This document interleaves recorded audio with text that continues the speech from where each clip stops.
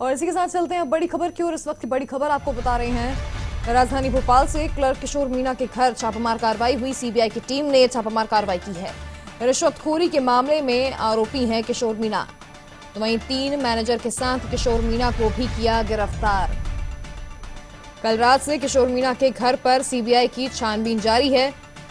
तो बड़ी खबर आपको बता रहे हैं इस वक्त। राजधानी भोपाल से क्लर्क किशोर मीणा के घर पर छापामार कार्रवाई हुई है। वहीं सीबीआई की टीम ने ये कार्रवाई की है। आपको बता दें कि रिश्वतखोरी के मामले में आरोपी हैं किशोर मीणा। तीन मैनेजर के साथ किशोर मीणा को भी गिरफ़्तार कर लिया गया है। कल रात से किशोर मीणा के घर पर सीबीआई की छानबीन जारी है।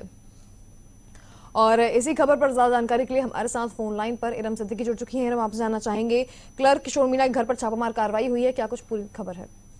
बिल्कुल पहले, सबसे पहले अनन्या, मैं आपको पूरी खबर बता दूँ कि खबर ये है कि एफसीआई में गुड़गांव की एक सिक्योरिटी कंपनी है कैप्टन कपूर एंड सन्स का, ठिका है? और जिसके साल का 11 लाख रुपए का बिल बनता है।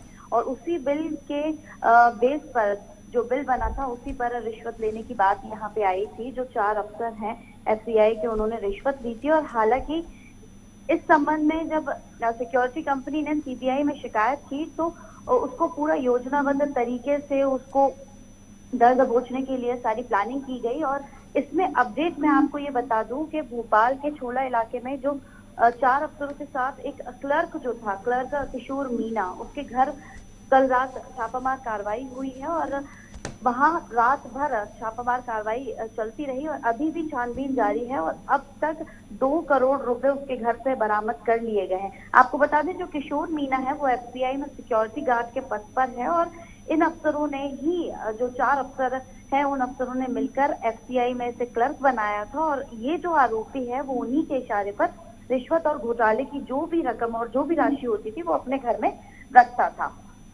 अनन्या। जी।